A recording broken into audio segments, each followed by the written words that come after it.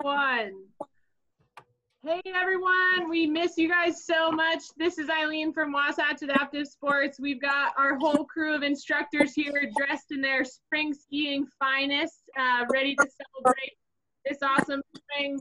We just want to thank you for an awesome season, for everything that you guys did skiing with us and everything we achieved this year.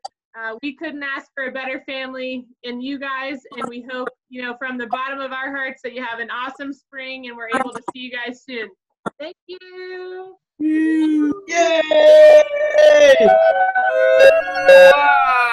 Be well. Woo! Love you guys. We Miss love you guys. Love you. Stay safe. Yeah.